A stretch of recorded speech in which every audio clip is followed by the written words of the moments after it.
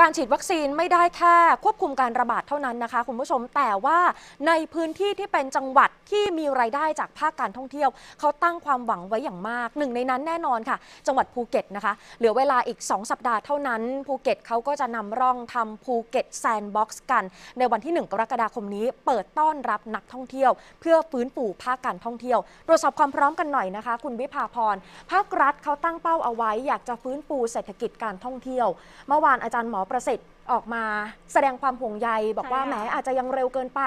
ยังต้องกักตัว 14 วันน่าจะยังดีกว่า ทีนี้อยากจะฟังเสียงสะท้อนของภาคเอกชนในพื้นที่บ้างค่ะก็บอกว่าจริง ๆ แล้วได้ประโยชน์นะถ้าทำแต่ต้องมีแผนอย่างรัดกุมด้วยค่ะ รัฐกลุ่มเนี่ยสำคัญนะคะ จริง ๆ ตอนนี้ภูเก็ตเดินหน้าฉีดวัคซีนไปแล้ว อันนี้คือโจทย์ใหญ่ แต่ดิฉันดูตัวเลขล่าสุดเนี่ยเข็ม 2 วัคซีนภูเก็ตตั้งเป้าไว้ 70%ใช่ไหมคะเข็ม 2 ฉีดไปแค่ 33%กว่าๆเองนะคะ เหลือเวลานิดเดียวเองค่ะ ดังนั้นต้องทำให้ทัน อันนี้เป็นโจทย์สำคัญในการ balance เศรษฐกิจ แล้วก็ความปลอดภัยจากโควิด -19 นะคะ รัฐบาลเอาจริงค่ะ ถ้าฟังจากหมอเบิร์ตแถลงเมื่อสักครู่นี้เขาบอกว่าถ้าเปิดภูเก็ตแซนด์บ็อกซ์ได้จริง สิ่งที่จะตามมาก่อนอย่างแรก ต้องมีการจัดตั้งศบค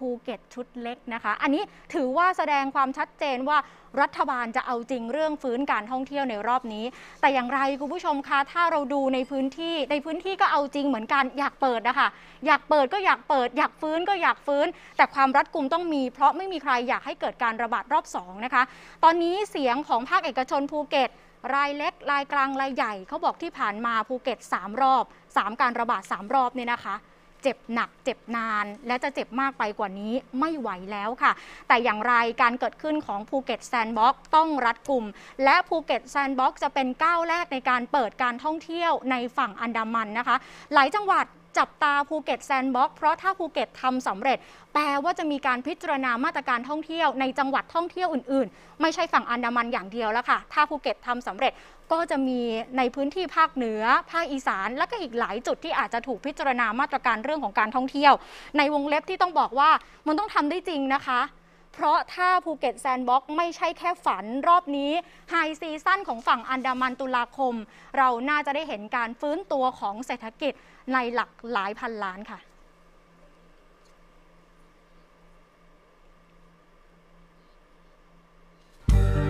เราไม่สามารถให้โควิดหมดแล้วค่อยเปิดประเทศได้อะค่ะ ถ้าเป็นแบบนั้นเราก็คงจะแย่ไปอีกนานอะไรเงี้ยค่ะ แต่ว่าถ้าการที่เปิดเงี้ย แต่เราก็ต้องมีการควบคุมอย่างเคร่งครัดเหมือนที่มาตรการเขาออกมา เพราะว่าถ้าถ้าเป็นอย่างนั้นอะเราก็คิดว่ามันมันดีกว่ามันได้ boost ธุรกิจด้วย แล้วก็อาจจะค่อยๆมาแบบค่อย ๆ ทยอยเข้ามาหรืออะไรเงี้ยค่ะ ดีกว่าที่แบบเปิดปุ้งแล้วแบบสุดท้ายแบบเละไม่เป็นท่าเนี่ยมันเหมือนกับการเริ่มต้น test ดูก่อนว่า work ไม่ work อะไรอย่างเงี้ยค่ะก็คือขอให้เขาแบบว่าจะโปรโมทการท่องเที่ยวให้ดีให้ให้มากขึ้นอะไรอย่างเงี้ยค่ะ แล้วก็ให้เห็นคุณค่าของภูเก็ตที่เป็นอยู่ณตอนนี้ น่าจะเป็นระลอกที่ 3 ที่เจ็บมากกว่าระลอกที่ 1 และระลอกที่ 2 ถ้าเรียกเป็นศูนย์ก็พี่ก็ว่าก็เรียกได้นะ น่าจะเป็นศูนย์นะเพราะว่ามันไม่เกิดการเคลื่อนไหวการเคลื่อนย้ายนักท่องเที่ยวมาจากต่างจังหวัดเข้ามา วัคซีนเท่านั้นที่มันจะเยียวยา ให้พวกเรารู้สึกอุ่นใจมั่นใจในการที่จะปลอดเชื้อปลอดภัย ถ้าพวกเราได้วัคซีนกันเกิน 70%มันจะเกิดภูมิคุ้มกันหมู่ขึ้นในเกาะภูเก็ตได้ ทำให้พวกเราเนี่ยจะสามารถทำมาหากินได้ ดำรงชีวิตอยู่ได้แบบปกติขึ้นมาบ้าง การเปิดจังหวัดภูเก็ตจำนวนนักท่องเที่ยวที่สามารถเดินทางเข้ามา ซึ่งซึ่งเขาต้องมีเงื่อนไขนะครับเขาต้องฉีดวัคซีนซ่องเข้มนะครับเราคิดว่าน่าจะมีนักท่องเที่ยวเดินทางเข้ามาได้เพียงจำนวนหนึงถ้าเราจะคิดมาเป็นผลกระทบทางเศรษฐกิจต่อประเทศเนี่ยมันจะอยู่ที่ประมาณ 50,000ถึง 70,000 ล้าน ถ้าเปิดในเดือนกรกฎาคมจนถึงธันวาเนี่ยประมาณ 53% จะเป็นมูลค่าเพิ่มของจังหวัดภูเก็ต ส่วนอีก 47%จะกระจายไปสู่จังหวัดอื่นส่งผลเชิงระบบเศรษฐกิจของประเทศทั้งหมด ก่อนจะเปิดภูเก็ตแซนด์บ็อกซ์นั้นภูมิคุ้มกันหมู่ต้องมาก่อนนะคะ ดิฉันคิดว่าภูเก็ตทำเป้าแรกของวัคซีนเข็ม 1 ได้เกินเป้าหมายนะคะ เพราะมันเกิน 70%ไปเล็กน้อยค่ะ แต่สำหรับเข็ม 2 ข้อมูลล่าสุดบอก 33.17%เองค่ะ คุณผู้ชม เหลือเวลาอีกประมาณ 2 สัปดาห์ต้องเร่ง speed กันหน่อยเพราะเหลืออีกเกือบ 40%นะคะที่จำเป็นที่จะต้องฉีดให้ครบ ในเข็ม 2 เพื่อสร้างภูมิคุ้มกันหมู่ และถ้าเราดูตัวเลขจริงๆเนี่ยเข็ม 1 ของภูเก็ต ส่วนใหญ่ก็เป็นซิโนแวคด้วยนะคะ นั่นก็เลยมีความกังวลใจจากคุณหมอประสิทธิ์คณบดีคณะแพทยศาสตร์ศิริราชพยาบาลว่าบางทีมันอาจจะไม่ได้คุมทุกสายพันธุ์ที่อาจจะเข้ามาหลังเปิดประเทศ แต่อย่างไรค่ะ ภูมิคุ้มกันหมู่ต้องมาก่อนคุมไม่คุมว่ากันต้องมาก่อน 70%นะคะ นอกเหนือจากเรื่องภูมิคุ้มกันหมู่ที่ต้องรัดกุมค่ะ คุณผู้ชมดูมาตรการกันหน่อยนะคะ เบื้องต้นเท่าที่มีการตรวจสอบข้อมูล เป็นมาตรการของการเดินทางไปเที่ยวภูเก็ต ทั้งหมดนี้ 7-8 ข้อ ต้องมีต้องครบหากจะเปิดภูเก็ตแซนด์บ็อกซ์รอบนี้เขาวางมาตรการนี้เอาไว้นะคะคุณผู้ชม นอกเหนือจากมาตรการที่จะรัดกุมกับนักท่องเที่ยวที่เดินทางเข้าไป ผู้ประกอบการก็ขอเหมือนกัน รายเล็ก รายกลาง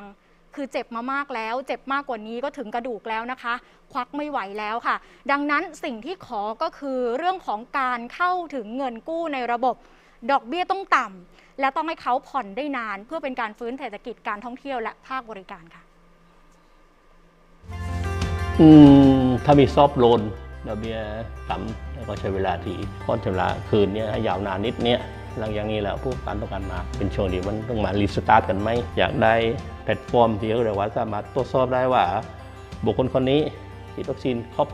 สองโดสหรือยังอะไรแบบนั้นนะใช่ไหมถ้ามันเป็น Data หนึ่งก็รักรามันเป็นมันต้องเข้าไต่มาที่ซี่แล้วที่จะเริ่มปืน ในช่วงตอนนี้มันนั้นได้แค่ประคองตัวได้บางเร็วที่สุดเลยนะ การท่องเที่ยวจะกลับมาก็ต้องเป็นไตรมาที่สี่อย่างหน้อย ครับการเปิดในระยะแรกนะครับ เนื่องจากมีเงื่อนไขว่าจะต้องอยู่ในภูเก็ต 14 วันนะครับ ทางพังงาก็จะไม่ได้รับนักท่องเที่ยวต่อจากจังหวัดภูเก็ตนะครับ ถ้าได้ก็อาจจะเป็นส่วนที่น้อยมากๆครับ จนจนไม่น่าจะมีผลอะไรมาก แต่ว่าคงได้เรื่องของเคสการศึกษามากกว่าว่าออมีนักท่องเที่ยวเข้ามาไหมกับมาตรการที่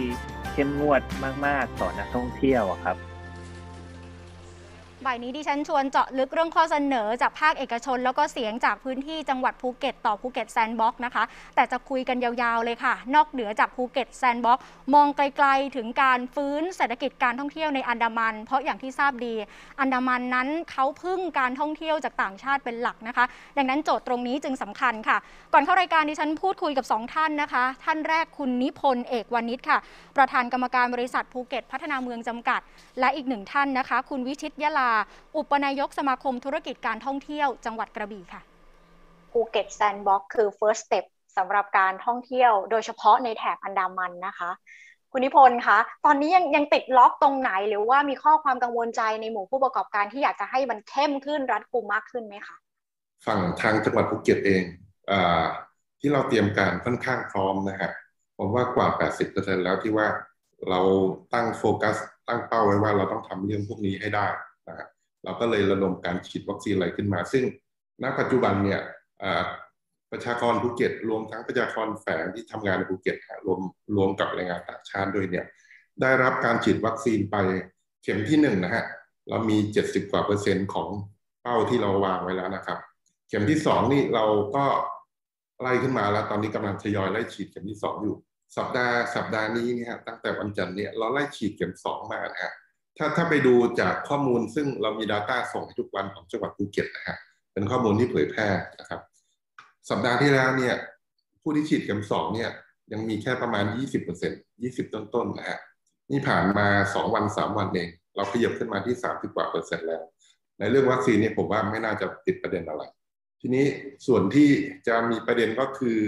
อาของในส่วนของรัฐบาลเองนโยบายต่างๆ ที่จะออกมากฎระเบียบต่างๆแซนด์บ็อกซ์เนี่ย ตัวหลักตัว main โครงสร้างมันเนี่ยชัดเจนแล้วนะฮะแต่ยังมีข้อข้อปีกย่อยนะฮะอย่างเช่นเรื่องเออจำนวนวันกักจำนวนวันที่ต้องอยู่ในภูเก็ตต้องตรวจ test วันไหนอะไร แล้วมีข้อยิบย่อยนิดๆหน่อยๆอะไรพวกเนี้ยอยู่ในระหว่างการคุยกันอยู่ เพราะว่าต่อให้เราจะเปิดยังไงนะฮะเราก็ต้องคำนึงถึงความปลอดภัยของอพี่น้องคนไทยเอง ชาวจังหวัดภูเก็ตเอง เท่าที่ผมติดตามอยู่อยู่ในไทม์ไลน์ที่เขากำลังคุยกันอยู่ใน ทั้งศบคทั้งทั้งครมเองนะฮะก็น่าจะจบภายในเดือนนี้แล้วก็ออกเป็นระราชกิจจานุเบกษามาได้ ถ้าหากว่ามันขับเคลื่อนได้จริงเนี่ยภูเก็ตเนี่ยจะเปรียบเสมือนกับเออเขาเรียกอะไรดี เป็น buffer เป็นตัวกรองเครื่องขนาดใหญ่เลยฮะสำหรับนักท่องเที่ยวต่างชาติที่เข้ามา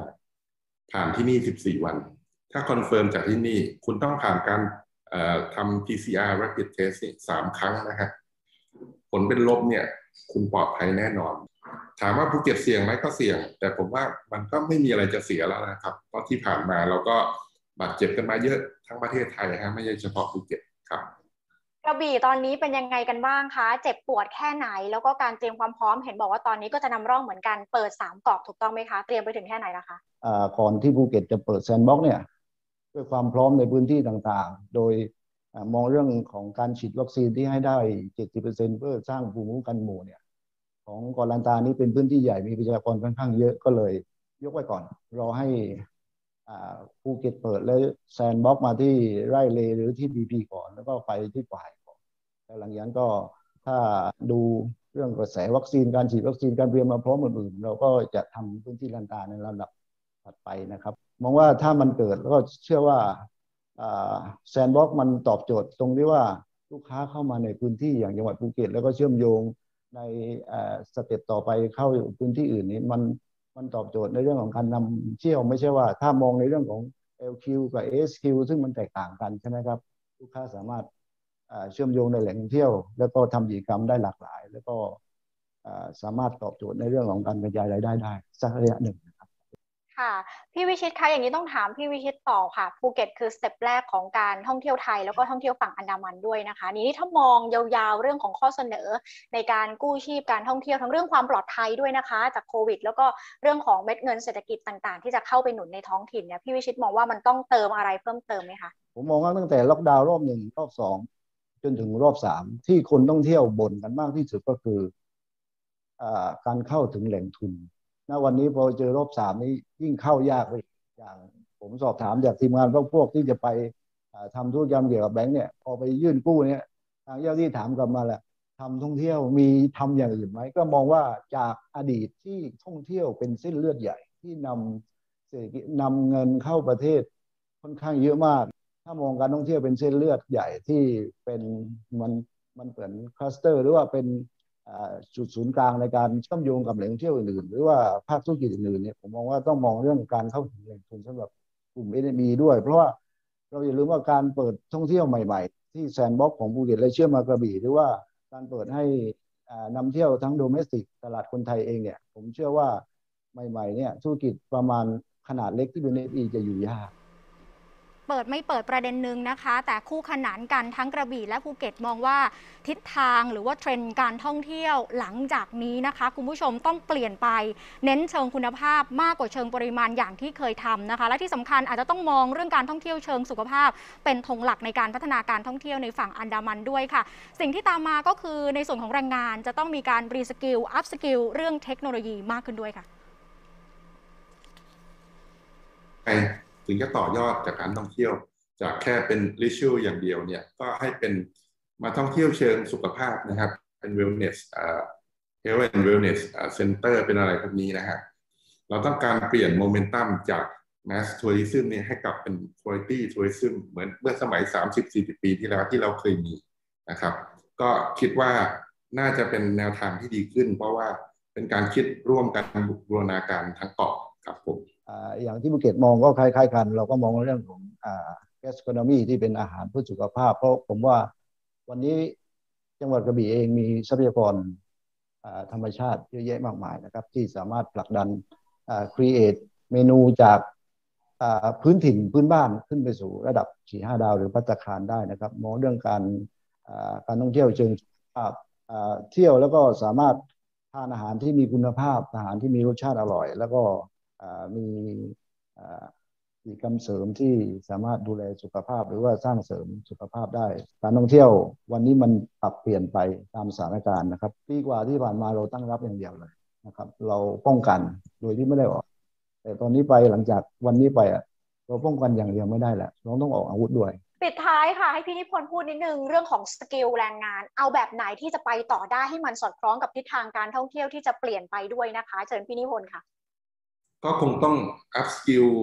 re skill เรื่องพวกเทคโนโลยีต่างๆนะครับ แล้วก็เป็น new normal สิ่งที่มันจะต้องเกิดขึ้นในการให้บริการกับลูกค้า